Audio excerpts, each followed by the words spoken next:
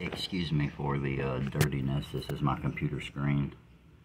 I don't I don't have uh, local news channels on my TV at the moment, so I'm having to use my laptop here. But um, this is the scene of a shooting that happened literally in front of the city police department here. This little area right here is like this this sidewalk walks right into the city police department and it reads sources confirm there has been a shooting next to Anderson Police Department in downtown Anderson. South Main Street one person was transported to the hospital. No officers were injured in the shooting. The parking lot is taped off currently as the investigation is ongoing. They don't have any updates at this time or don't know the victim either. This is crazy man. Literally feet within the department man